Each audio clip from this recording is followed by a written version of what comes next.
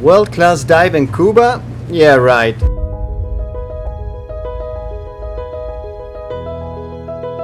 Whoa, whoa, whoa, what is this?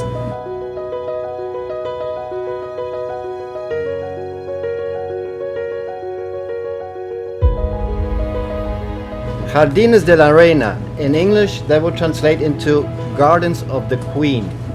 I really don't have a clue if Cuba ever had a queen, but if it did, she would have been very proud of those gardens.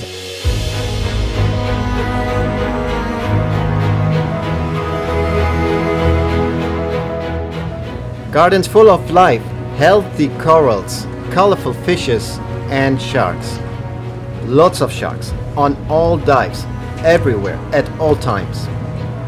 I didn't know before really that such a place existed here in the Caribbean. To be honest, I was um, a little hesitant at first when my friend Alexei invited me to join him on this trip. I mean, of course, I've heard about this place before. You know, it's it's uh, it's a common. Uh, well, it's one of the famous places, so to speak, in, uh, in the divers world. But yeah, you know, it's in the Caribbean. I've done a couple of places, and uh, I wasn't too blown away with my experiences so far. So, yeah, the main reason for me to come here was because I urgently needed vacation, and so I just said, okay, let's do it. And uh, yes, yes.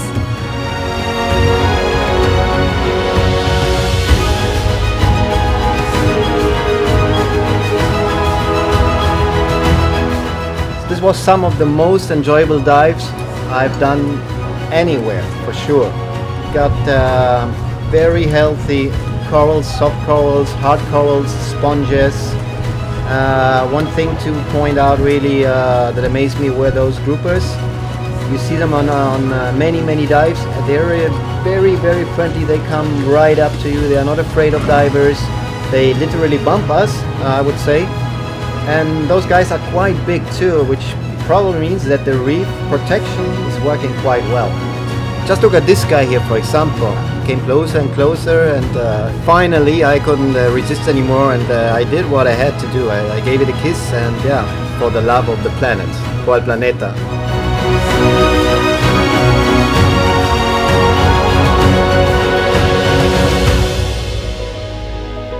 in many Caribbean places, you can probably dive for a month and you will never see a shark. Uh, so this is definitely very, very different here. They are literally everywhere. It's uh, silky sharks and Caribbean reef sharks. You have them on all dives, and yeah, from the first minute you get in the water until you get out, they these guys are around. But it was pretty, pretty cool thing to do, which well, I haven't I haven't seen anywhere before in the Caribbean at least.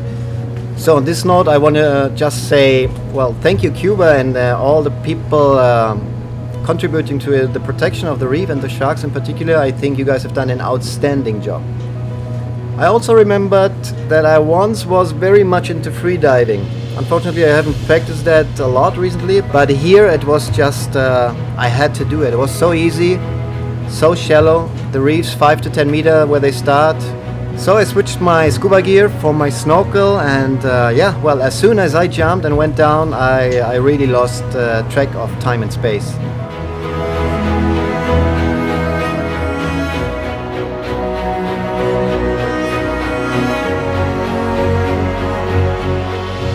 Must have been 20 Caribbean reef sharks around me, uh, warm water, clear, only 5 to 10 meters deep, it could not have been better, seriously. This was heaven. I mean, I've never had an experience like this before and uh, it was just it was just so cool to be able to do this. I mean, where else in the world is that even even possible? Man, the best.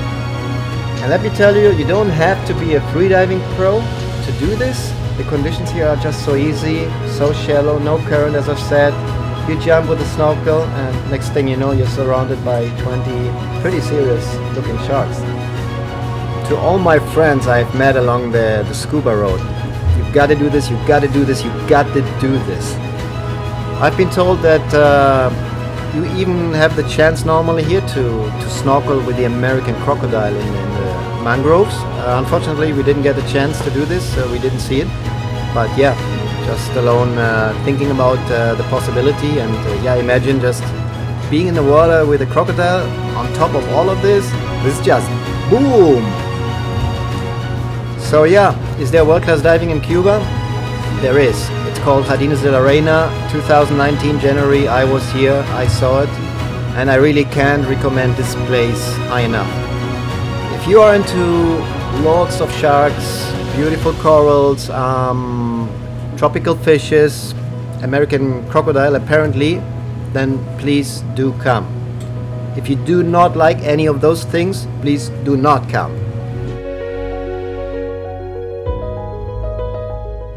And one more thing, the old cars here in Cuba are quite nice too, by the way.